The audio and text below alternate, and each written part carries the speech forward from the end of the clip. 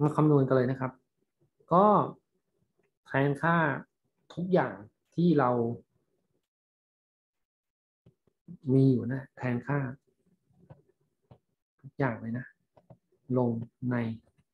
สมดุลพลังงานนะครับอะลองเราตั้งเขียนใหม่ทีนะ ลบงานเนื่องจากการพลังงานจนใช่ไหมเท่ากับเดลต้ายูใช่ไหมอะอีตัวนี้เราเอาออกไปแล้วนะ เป็นศูนย์นะ เพราะว่าเราสมมุตินะครับว่าไอความร้อนที่เกิดขึ้นจากการตกอะไม่มีการถ่ายเทสิ่งสิ่งแวดล้อมนะครับ ส่วนงานเนื่องจากการเนื่องจากพลังงานจนเนี่ยสมมุติเป็นหนึ่งเอ่อเป็นพลังงานจนใช่ไหมหนึ่งส่วนสองนะ m hand นะใช่ไหมแล้วก็ velocity กำลังสองนะอันนี้คือที่โจทย์ถามนะครับ มันมีอันนึงที่คุณต้องระวังคือไอ้สมการหนึ่งกับสอง mv กำลังสองเนี่ย หน่วยมันเป็นจูลนะครับ เพราะฉะนั้นถ้าคุณจะทำอะมันจะต้องเป็นกิโลจูลนะครับอ่าคุณต้องหารด้วยพันจูลต่อกิโลจูลนะครับโอเคนะ อันนี้คือแปลงหน่วย แล้วก็อย่าลืมเรื่องเครื่องหมายนะครับ เครื่องหมายมันเป็นลบใช่ไหมมันเป็นลบตรงนี้อันนี้คือลบด้วยด้วยทิศทางของสมการนะครับ เข้าลบออก แต่ว่าไอ้งานในที่นี้มันไม่ใช่งานออกไงมันเป็นงานเข้า ซึ่งทิศทางมันเป็นลบนะครับฉะนั้นสิ่งที่ถูกต้องจริง ๆ ตรงนี้คุณจะต้องเขียนเป็น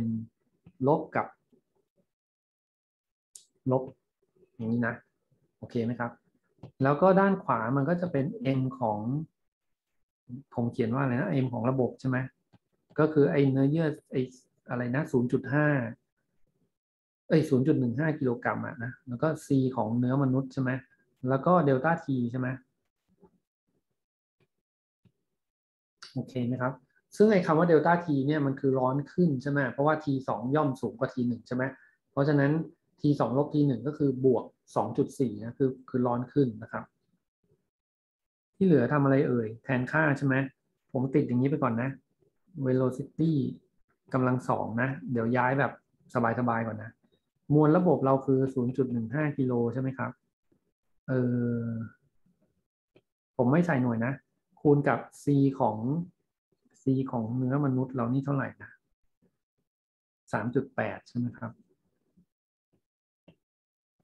แล้วก็เดลต้า t ก็คือร้อนขึ้น2.4องศาเซลเซียสใช่ไหมเห็นไหมครับ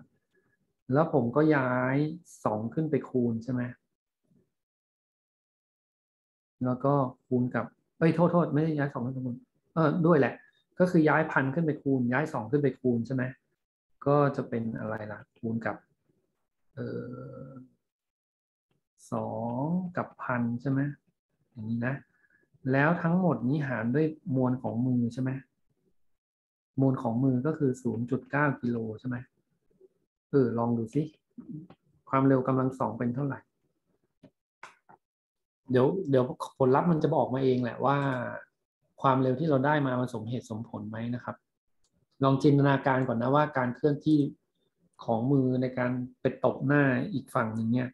มันเร็วขนาดไหนนะหนึ่งเมตรต่อวินาทีไหมสองเมตรต่อวินาทีไหมสามเมตรต่อวินาทีไหม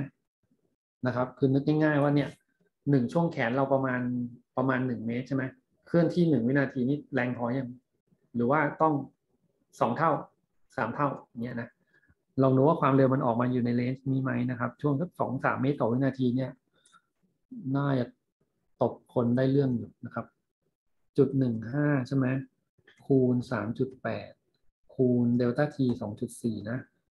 คูณสองคูณพันใช่ไหมครับ แล้วก็หารด้วยจุดเก้าเนาะปั๊บได้ผมได้สามศูนย์สี่ศูนย์ความเร็วใช่ไหม แต่ว่าเป็นความเร็วกำลังสองนะ เพราะฉะนั้นถ้าถอดรูทเกิดอะไรขึ้น ถอดรูท ห้าสิบห้าจุดหนึ่งสามหกดูผิดปกติว่ะ ใช่ไหมเร็วเกินแล้วเนี่ยห้าสิบห้าเมตรต่อวินาทีแปลว่าผมอาจจะคิดอะไรผิดนะ บางทีอาจไอ้ที่ ไอ้ที่เราสมที่ผมเข้าใจเองว่ามันเป็นอะไรนะหนึ่งส่วนสอง MV กำลังสองคือพลังงานจนอะ อาจจะเข้าใจผิด มีใครเชี่ยวเรื่องนี้ไหมอะ มีใครเชี่ยวเรื่อง Impact ไหมอะ เนี่ย เดี๋ยวนะ มันมีคำว่า impact อยู่นี้ใช่ไหมเนี่ยใช่ไหม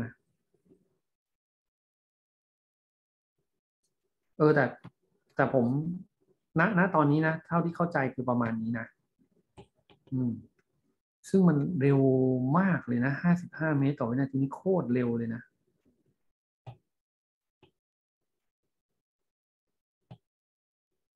คิดว่าเร็วไหมมันมีเฉลยไหมครับอาจารย์ อะไรนะครับ มันมีเฉลยท้ายข้อไหมครับ มีเฉลยด้วยหรอ มีปะไม่มีอะ คุณสงสัยต้องไปค้น solution ใน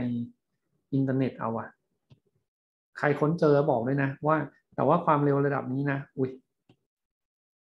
ความเร็วระดับนี้นี่เอาตายเลยนะเนี่ยห้าสิบห้าเมตรต่อวินาทีเนี่ย คุณลองแปลงเป็นกิโลเมตรต่อชั่วโมงดิไอ้นี่โคตรมหาศาลเลยนะไอ้ห้าสิบห้าเมตรต่อวินาทีเนี่ย นึกออกไหมคุณเอา เอาสามจุดหกคูณเข้าไปอะ ได้เท่าไหร่อะห้าสิบห้าคูณสามจุดหกอะโอ้โห เกือบสองร้อยกิโลเมตรต่อชั่วโมงอะ คิดดูดิ นะ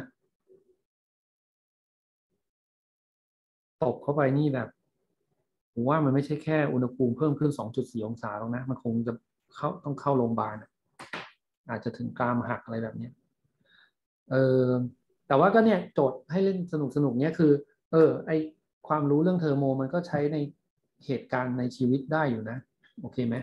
คือถ้าคุณนึกถึงเรื่องสมดุลพลังงานเมื่อไหร่มันคือ thermo นะครับ คือ thermodynamic นะครับอะโจทย์ข้อนี้ปิดตรงนี้ก่อนนะ เดี๋ยวเราลองไปช่วยกันค้นหาเฉลยในอินเทอร์เน็ตดูก่อนนะ ว่าใช่บอกว่าไอ้ห้าสิบห้าเมตรต่อวินาทีเนี่ยไอ้ตรงเนี้ยเข้าใจถูกไหมเนี่ย ตรงที่เนี่ยอีก้อนความคิดตรงเนี้ยนะเราใช่ใช่การสมมุติที่ถูกต้องไหมนะเอ่อโอเค เดี๋ยวเราไปดูข้อถัดไปนะครับ เดี๋ยววันนี้จะได้จบอีกข้อหนึ่งก่อนนะครับ